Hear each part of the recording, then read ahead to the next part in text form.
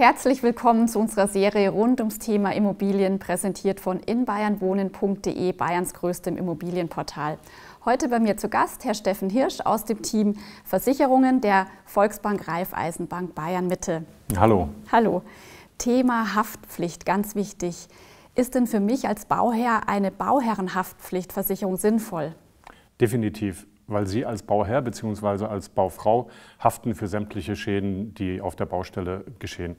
Äh, das betrifft zum Beispiel Unfälle auf der Baustelle, das betrifft zum Beispiel Nichteinhaltung von Bauvorschriften und so weiter.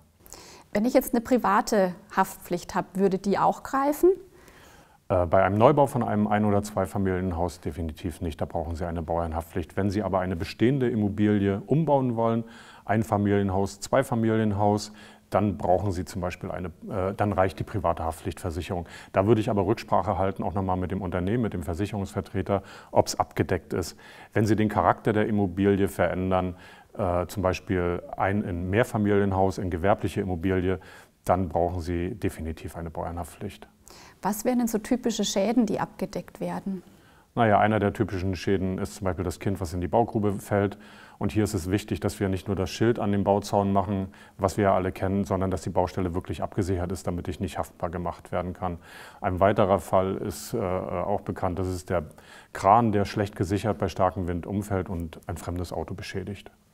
Vielen Dank, Herr Hirsch. Gerne. Das war es auch wieder für heute. Vielen Dank fürs Zuschauen und bis zum nächsten Mal.